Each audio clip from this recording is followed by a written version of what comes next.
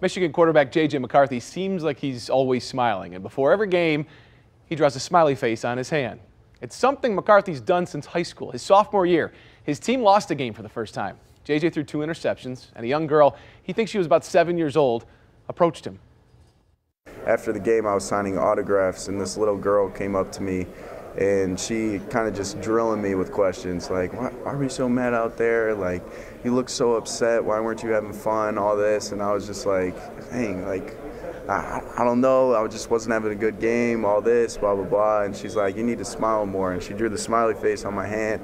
It was such a profound moment for just how simple it was, and just wore it on my hand for the rest of the games, just because I kind of took that message to heart and we went undefeated from then so it was kind of a little bit of a superstition for me and you know it's just a subtle way of just kind of promoting positivity in this world because this world needs it McCarthy signs his name with a smiley face. He has a charity selling smiley face JJ for the kids gear. It's all to help children's hospitals at Road Cities, where U of M plays. He also donates to the Oxford Strong Fund and the Chad Tough Foundation. Since last season, McCarthy has donated over $30,000 of NIL funds to kids' charities. And guys, I was with him at Grand Traverse Resort up in Traverse City last yeah.